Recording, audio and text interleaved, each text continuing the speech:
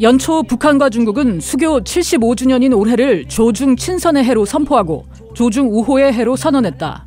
지난 4월엔 평양에서 조중 친선의 해 개막식이 열려 자오러지 중국 전국 인민대표대회 상무위원장이 참석하기도 했다. 하지만 그 이후 석 달이 지난 지금까지 북중 간 이렇다 할 관련 행사나 고위급 교류가 진행되지 않고 있다.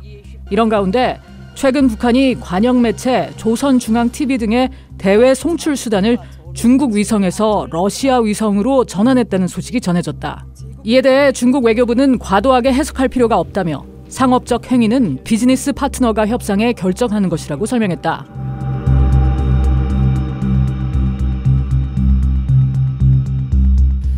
북중 관계에 심상치 않은 기류가 감지되기 시작한 건 북한과 러시아 간 관계 밀착이 가시화하면서부터다. 특히 평양에서 열린 김정은 북한 국무위원장과 블라디미르 푸틴 러시아 대통령 간 정상회담을 계기로 북한과 러시아가 포괄적 전략 동반자 협정을 체결한 것에 대해 중국이 불편해하고 있을 것이라는 평가가 계속해서 나오고 있다. 일례로 중국은 푸틴 대통령의 방북 시점에 맞춰 한국과 외교 안보 대화를 열었는데 이는 북한과 러시아에 중국이 불만을 표출하며 메시지를 보낸 것이라는 분석이다. 실제로 김 위원장과 푸틴 대통령이 평양에서 만난 당일인 7월 19일 중국 외교부는 중국은 줄곧 사안 자체의 시비곡직 옳고 그름에 근거해 입장을 결정해 왔으며 중국 독자의 방식으로 계속해서 한반도 문제에서 건설적 역할을 해나갈 것이라고 밝혔다. 이어 주미 중국 대사관의 류펑위 대변인은 북러 간 협정 체결과 관련한 BOA의 논평 요청에 북한은 직접 언급하지 않은 채 원칙적으로 중국은 러시아가 관련 국가와 전통적인 우호 관계를 공고히 하고 발전시키는 것을 환영한다는 입장을 밝혔다. 중국 관영 언론에서도 북러 정상회담 결과는 크게 보도되지 않았다.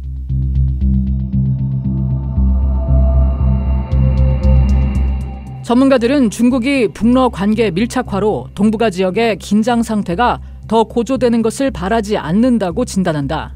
My perception is that the Chinese do not like to see this new relationship between Putin and Kim develop.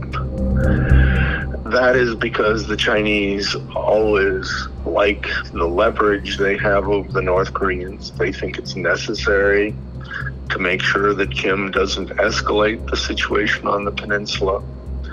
And um, now Putin has come in and is a new factor and a dangerous factor because they don't know what he will advise Kim. When they're feeling emboldened, they tend to be adventurous in a, in a dangerous way. And if that's the case, then that could lead to a possible crisis or confrontation uh, if the North Koreans decide to uh, uh, carry out a provocation. And of course, that more complicated and dangerous situation is happening on China's doorstep. And that is something that the Chinese probably do not like. 당장 미중 전략 경쟁과 경제 성장 둔화 문제를 다뤄야 할 중국은 미 한일 대 중북러식의 대결 구도가 달갑지 않다는 분석도 나온다. 향후 중국이 러시아와 북한을 상대로 어떤 식으로 영향력을 행사하며 견제해 나갈지 관심이 주목되고 있다.